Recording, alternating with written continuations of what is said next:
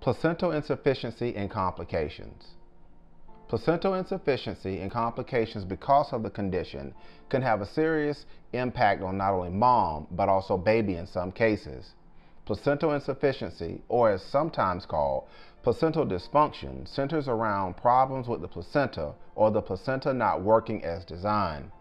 Other conditions that can stem from placental insufficiency are placental abruption and fetal growth restriction among other things.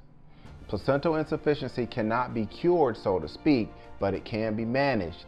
Usually determining how many weeks pregnant mom is will help doctors know what course of action is best.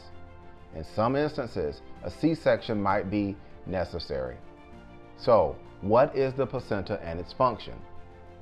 The placenta develops in the uterus and is responsible for providing blood and other important nutrients to your baby. A baby's umbilical cord develops from the placenta and provides blood, oxygen, and other nutrients also to the baby.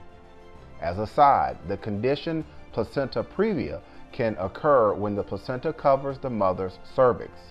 Some of the risk factors for placenta previa are the following a previous delivery, history of surgeries, mom older than 35, C section delivery, and uterine fibroid removal, placenta insufficiency and complications. One way in which doctors can suspect placental insufficiency is using ultrasound technology and the measuring of the placenta. In addition to measuring the size of the placenta, fetal growth can be measured to determine growth levels. Both of these actions can help doctors understand if a mother is suffering from placental insufficiency. Placental abruption, which we previously mentioned, is another condition which can stem from the placenta not working properly. This condition occurs when the placenta detaches from the uterus. When this happens, blood loss is one of the main concerns. The more blood loss from the detachment, the more mom's life is placed in danger and thus also placing the baby in danger.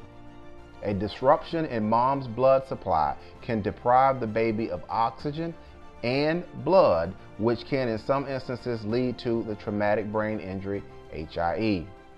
Fetal growth restriction can be summarized by a baby not growing or developing as expected for its gestational period.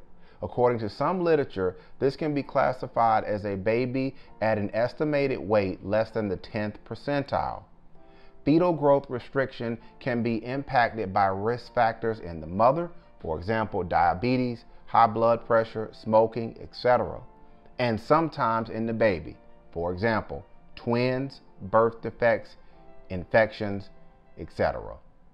This is Marcus at HIE Resource Place. We will talk with you next time.